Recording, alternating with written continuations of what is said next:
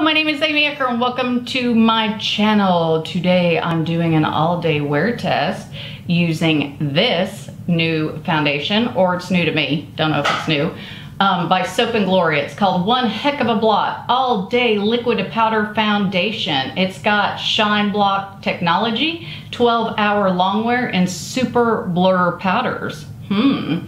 So this is supposed to last for 12 hours. We shall see how well this does. Um, it's supposed to control shine. It's supposed to deliver full coverage, uh, coverage without cakiness. Who doesn't want full coverage without cakiness?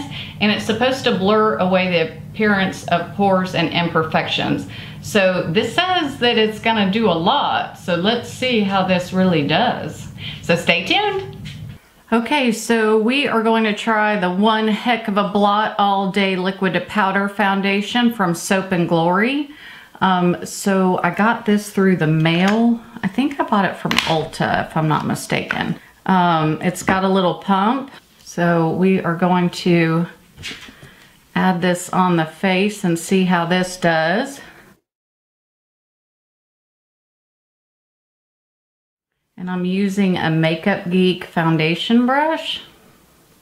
It just says foundation stippling.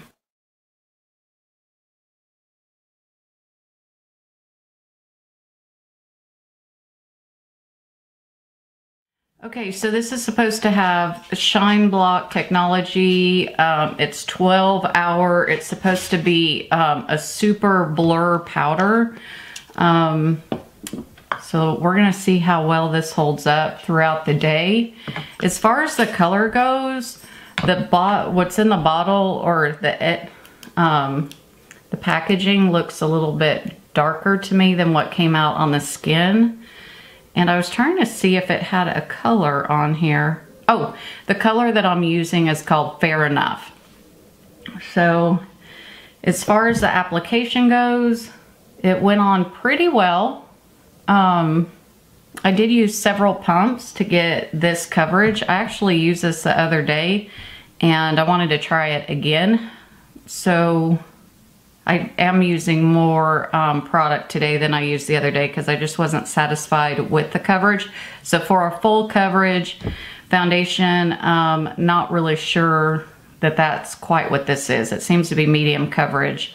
Um, but it says it controls shine for 12 hours delivers flawless full coverage, no cakiness, blurs away the appearance of pores and imperfections. So we're gonna do um, an all day wear test and see how it does. So stay tuned.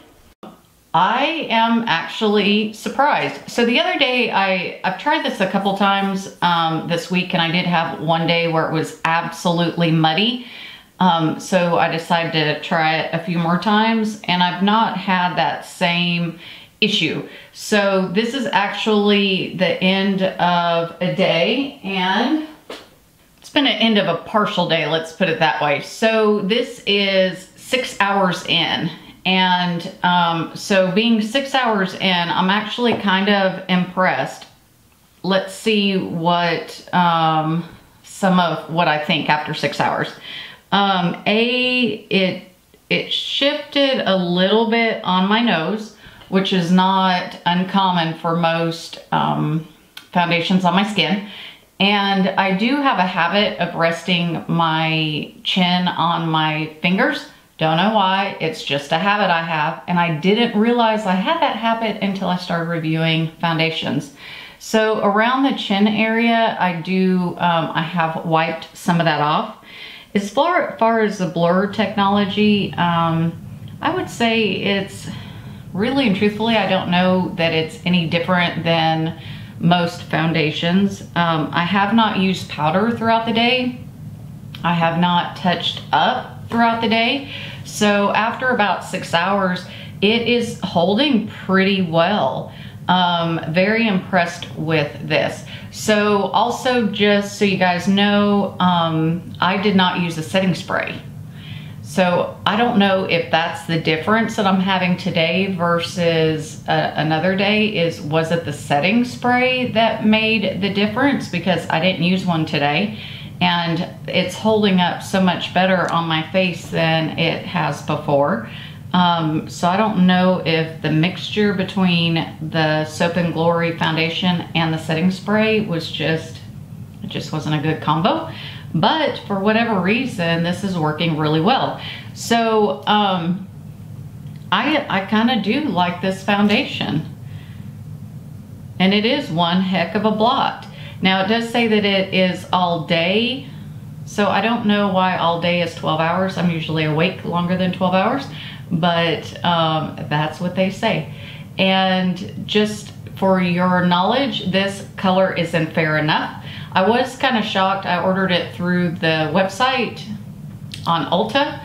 And um, when I got this, I thought the packaging, it was a little going to be a little bit too dark for my fair skin. And it actually turned out to be lighter when I put that on. So I wanna thank you so much for watching this video today for a, I wouldn't say all day wear test since I've only had it on my skin for about six hours out of the 12 that this says that um, it can handle.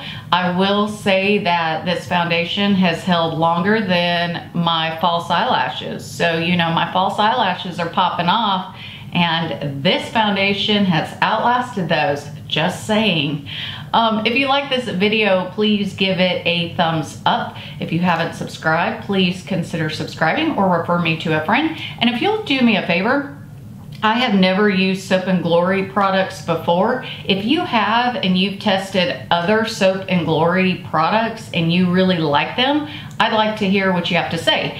And if you have tried this foundation for all day or 12 hours versus my six, um, I would also like to hear what you have to say. So as always, um, you have a choice, so make it a beautiful day. Until next time.